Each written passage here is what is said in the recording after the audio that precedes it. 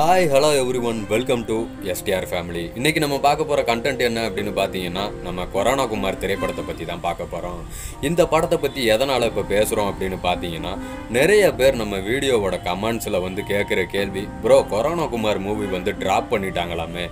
அப்படின்ற ஒரு கொஸ்டினை தான் திருப்பி திருப்பி கேட்டுக்கிட்டே இருக்கீங்க. அதுக்கு ஒரு வீடியோவும் போடுங்கன்னு சொல்லியிருந்தீங்க அதுக்காக தான் இன்றைக்கி நம்ம இந்த கொரோனா குமார் திரைப்படத்தை பற்றி பேச போகிறோம் அதாவது ஐசரி கணேஷுடைய தயாரிப்பில் கோகுலோட இயக்கத்தில் சிம்பு மற்றும் அதித்தி சங்கரோட நடிப்பில் பிரம்மாண்டமாக உருவாக இருந்த திரைப்படம் தான் கொரோனா குமார். இந்த படத்தோட அறிவிப்பையும் அதிகாரப்பூர்வமாகவே வெளியிட்டிருந்தாங்க. அது மட்டும் இல்லைங்க சிஎஸ்கேக்கு ட்ரிபியூட் பண்ணுற மாதிரி ஒரு சாங்கையும் பாடி அந்த பாட்டு கூட செம்ம ட்ரெண்டிங்காக போய்கிட்டு இருந்துச்சு.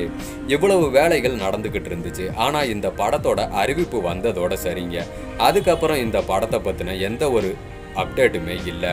ஷூட்டிங்கை ஆரம்பிப்பாங்களா? ஆரம்பிக்க மாட்டாங்களா? அதுவுமே நமக்கு தெரியலை.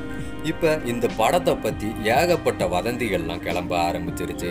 அதுபோல் கடைசியாக கிளம்புன வதந்தி என்ன அப்படின்னு பார்த்தீங்கன்னா இந்த படத்தில் சிம்புவுக்கு பதிலாக ஆர்ஜே பாலாஜியை வச்சு கோகுல் வந்து கொரோனா குமார் திரைப்படத்தை இயக்க போகிறாரு அப்படின்ற மாதிரி ஒரு தகவல் வந்து வந்துக்கிட்டு இருந்துச்சு. ஆனால் இது எந்த அளவுக்கு உண்மை அப்படின்றது தெரியலை. இதை பற்றி படக்குழுவினர் வந்து அதிகாரப்பூர்வமாக ஏதாச்சும் ஒன்று சொன்னால் மட்டும்தான் நமக்கு தெரிய வரும். அதாவது படக்குழுவினரும் எந்த ஒரு அஃபீஷியல் அனௌன்ஸ்மெண்ட்டும் கொடுக்கல. படம் வந்து ட்ராப்பு இல்லை ஆர்ஜே பாலாஜி தான் நடிக்கிறாரு அப்படின்ட்டு படக்குழுவினர் சொன்னால் தான் நமக்கு தெரிய வரும். இப்போ வந்து சிம்பு பத்து தலை படத்தோட ஷூட்டிங்கை நடித்து முடித்தாரு அப்படின்னா தான் கொரோனா குமார் ஷூட்டிங்கில் கலந்துக்குவாரா இல்லையா அப்படின்றது நமக்கு தெரிய வரும்.